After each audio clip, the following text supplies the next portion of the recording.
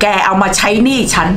สามร้อยล้าน 300 ล้าน โอ๊ยฮัลโหลฮัลโหลนี่ฉันคุยกับต้นไม้อยู่เหรอเนี่ย วันนี้แหละ ฉันจะเอาทุกอย่างที่เป็นของแก ทำไมต้องโลภขนาดนี้ ฉันไม่ได้โลภฉันทำทุกอย่างก็เพื่อลูกชายของฉัน ใส่หัวออกไปจากบ้านเดี๋ยวนี้ คุณพ่อ แม่ผิดเหรอ ที่แม่ทำทุกอย่างเพื่อลูก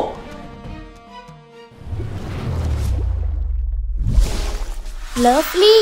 Family TV พี่จุ๋ม ผมเป็นแค่พ่อค้าขายข้าวแกง ผมไม่มีเงินขนาดนั้นหรอก พี่จุ๋มหาคนอื่นมาร่วมลงทุนเถอะนะ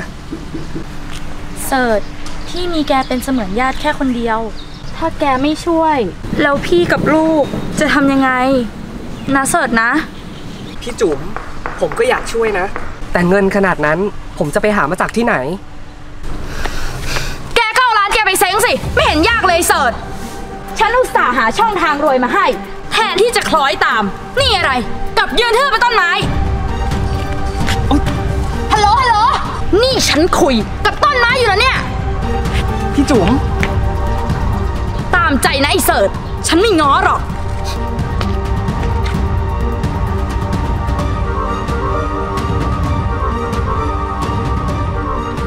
ก็ได้ ฉันง้อก็ได้ นะเสิร์ชนะ ร่วมทุนกับพี่ซื้อหุ้นบริษัทนี้เถอะนะ เราจะได้เป็นเจ้าของร่วมกันกำไรแบ่งคนละ 50 50นะเสิร์ชนะ เห็นแกหลานนะ พี่ทำทุกอย่างก็เพื่อลูกของพี่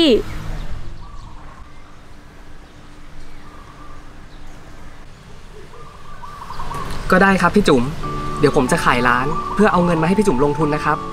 จริงนะน้องเสิร์ชจริงครับ ขอบใจมากนะ ไม่เป็นไรครับพี่จุ๋ม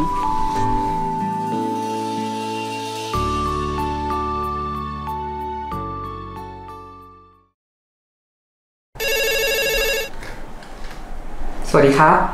ประเสริฐผู้สายครับ อ๋อ ได้เลยครับคุณปีเตอร์ เดี๋ยวเสิร์ชจะรีบส่งสินค้าให้นะครับ ครับ สวัสดีครับคุณปีเตอร์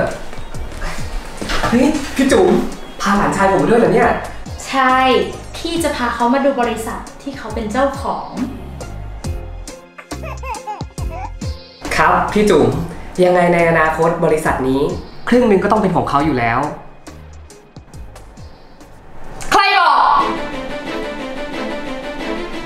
ของบริษัทนี้ทั้งหมด มันต้องเป็นของลูกชายฉัน แต่เพียงผู้เดียว ไม่ต้องร้องลูกไม่ต้องร้องเห็นไหมเสิร์ชลูกชายฉันร้องเอาบริษัทแล้ว พี่จุ๋มครับ อย่าโลภเลยครับ ยังไงผมก็มีสิทธิ์ในบริษัทนี้ครึ่งหนึ่ง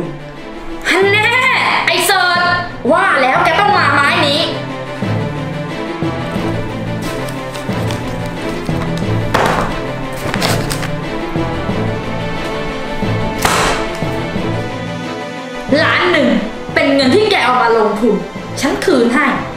พี่จุ๋มเก็บเงินของพี่จุ๋มไปเถอะ ยังไงผมก็เป็นเจ้าของที่นี่ครึ่งหนึ่ง ยังไม่สิ้นฤทธิ์นะไอเสิร์ชได้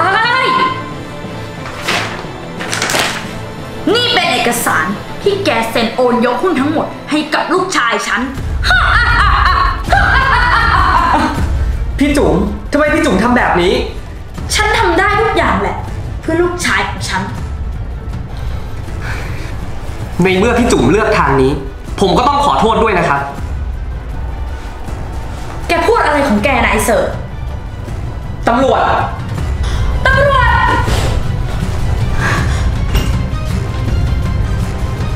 ขออนุญาตครับ คนนี้แหละครับ คุณตำรวจที่ปลอมแปลงเอกสารบริษัท จับเลยครับ ครับ ขอเชิญตัวไปโรงพักครับ อย่าเฮ้ยเดี๋ยวๆฉันไม่รู้นะเฮ้ยอย่ามาแตะต้องตัวฉันนะปล่อยเดี๋ยวนี้เลย พี่จุ๋มเอาลูกไหมอย่านะปล่อยฉันนะไม่ต้องห่วงนะครับพี่จุ๋มเดี๋ยวผมจะดูแลลูกชายของพี่จุ๋มให้ ไอ้เสิร์ชแกเอาลูกฉันคืนมานะแกวางแผนทำลายชีวิตฉันใช่ไหมขอเชิญตัวไปโรงพักนะครับเฮ้ยฉันไม่ไปปล่อยฉันนะแกจำไว้นะไอ้เสิร์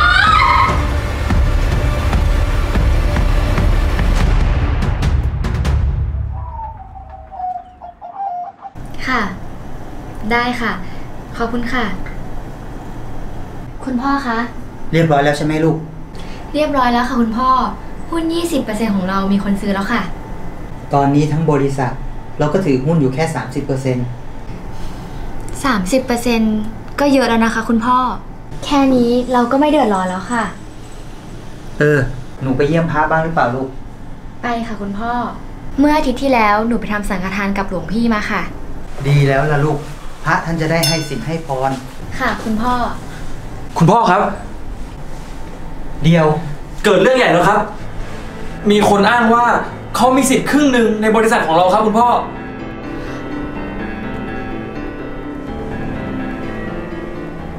เขาเป็นผู้หญิงหรือผู้ชาย ผู้หญิงครับ มีอายุแล้วครับคุณพ่อ และเขายังบอกว่าเขาเพิ่งซื้อหุ้น 20%ของเราครับคุณพ่อ คุณพ่อรู้จักเขาหรือเปล่าครับ คุณจุ๋ม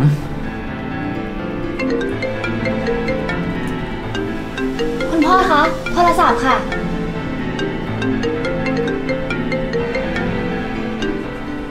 ฮัลโหล ผมประเสริฐผู้สายครับ ว่ายังไง สบายดีไหมไอ้เซิร์ชพี่จุ๋ม ใช่ ฉันเอง งามหน้าไหมล่ะ แกเอาบริษัทฉันไปปู้ยี่ปู้ยำ และที่ผ่านมา ฉันก็ไม่เคยได้เงินปันผลแม้แต่บาทเดียว ตอนนี้ ฉันจะคิดทั้งต้นทั้งดอก พี่จุ๋มครับ ที่ผ่านมาผมก็โอนค่าปันผล เข้าบัญชีลูกชายพี่จุ๋มแล้วนะครับ แต่มันไม่ใช่บัญชีฉัน ฉันจะคิดเงินทบต้นทบดอก แกเอามาใช้หนี้ฉัน300 ล้าน 300 ล้าน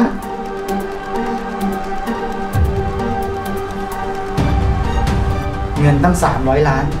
ผมจะหามาจากที่ไหนล่ะครับพี่จุ๋มนั่นมันก็เรื่องของแก แต่ก็ต้องขอบใจแกนะ ไอ้เสิร์ชที่แกช่วยเลี้ยงดูลูกชายฉันให้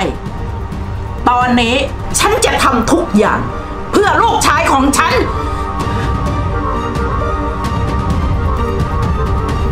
เกิดอะไรขึ้นคะคุณพ่อ ป้าจุ๋มคนที่พ่อเคยเล่าให้ฟัง เขากลับมาแล้วลูก เห็นที ครอบครัวเราจะหนีเคราะห์กรรมครั้งนี้ไม่พ้นแน่ๆเลยลูก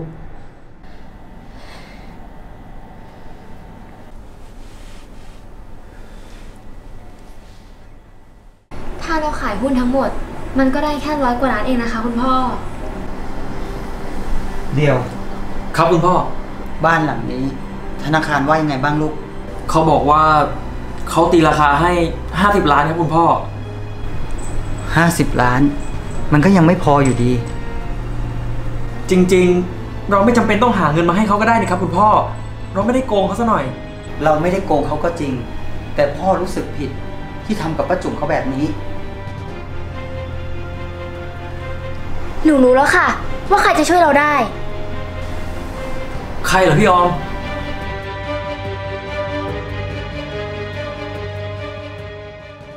ป่านนี้พี่ออมยังไม่มาอีก ไม่รู้จะได้เรื่องหรือเปล่า นั่นน่ะสิ สวัสดี ไอ้เซิร์ชไม่ได้เจอกันตั้งนาน แกขึ้นเยอะเลยนี่ สวัสดีครับ สวัสดีจ้ะ พี่จุ๋มสบายดีนะครับ สบายดีหรือเปล่า แกถามคำถามนี้เหรอ ไอ้เซิร์ช โอ๊ยฮัลโหล ฮัลโหล นี่ฉันคุยกับต้นไม้อยู่เหรอเนี่ย พี่จุ๋ม วันนี้แหละ ฉันจะเอาทุกอย่างที่เป็นของแก ดูสิว่าหน้าไหนมันจะช่วยแกได้ พี่จุ๋มทำไมต้องโลภขนาดนี้ ฉันไม่ได้โลภ ฉันทำทุกอย่างก็เพื่อลูกชายของฉัน แกใส่หัวออกไปจากบ้านเดี๋ยวนี้ พี่จุ๋มไม่มีสิทธิ์ทำแบบนี้นะครับ ไม่มีสิทธิ์เหรออืมไปคุณพ่อ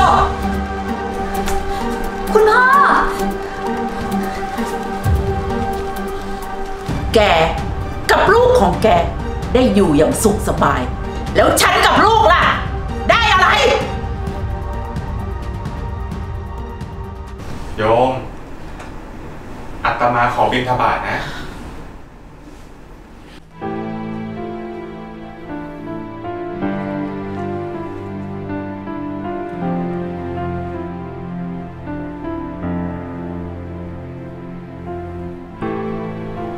โยม ฟังอาตมานะ เจตนาไม่ดีคือต้นเหตุแห่งปัญหา ความริษยาคือต้นเหตุแห่งความล่มจม แม่ผิดเหรอ ที่แม่ทำทุกอย่างเพื่อลูก สะสมทรัพย์สิน เพื่อให้บรรปลายชีวิตของลูก ได้อยู่สุขสบาย ถ้าเจตนาของแม่อยากให้ลูกได้ดี โยมไม่ผิด แต่การกระทำของโยมแม่ที่เบียดเบียนคนอื่น มันเป็นบาป แล้วถ้าโยมแม่ยังยืนยันว่าอยากจะได้เงิน ก็เอาบัญชีของอาตมาที่โยมลุงโอนค่าปันผลให้ โยมแม่ก็เอาไปเถอะ เพราะตั้งแต่อาตมาบวชเป็นบรรพชิต อยู่ในร่มกาสาวพักอาตมาไม่เคยแตะต้องเลย แต่พระจะไม่มีเงิน ไม่มีอะไรเลยนะเจ้าคะทุกสิ่งทุกอย่างที่แม่ทำมา ก็จะสูญเปล่า ผิดแล้ว โยมไม่ต้องเป็นห่วงอาตมาหรอก อาตมามีธรรมะชี้นำจิตใจอยู่แล้ว โยมแม่ ฟังอาตมานะ ตอนมาก็เอามาได้แต่ลมหายใจแล้วกายหยาบตอนจากเราก็ออกไปได้แต่กรรมดีและกรรมชั่ว หาได้เอาสมบัติติดตัวไปได้ไม่ จงเร่งทำกรรมดี เพื่อนำไปสู่ความสุขที่แท้จริงเถิด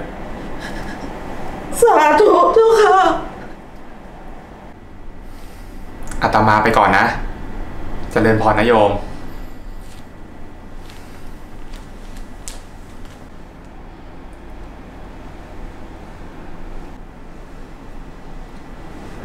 เสิร์ชพี่ฝากบริษัทด้วยนะ หมายความว่าไงครับพี่จุ๋ม พี่จะไปบวช ขออนุโมทนาสาธุด้วยนะครับพี่จุ๋มข อบใจจ้ะ ไปก่อนนะทุกคน สวัสดีครับพี่จุ๋ม สวัสดีค่ะ สวัสดีครับ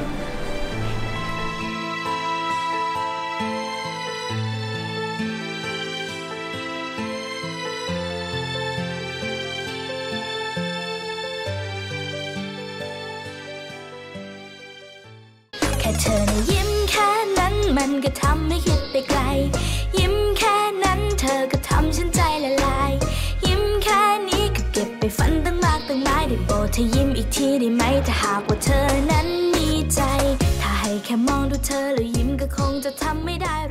ปล่อยให้เธอเดินผ่าน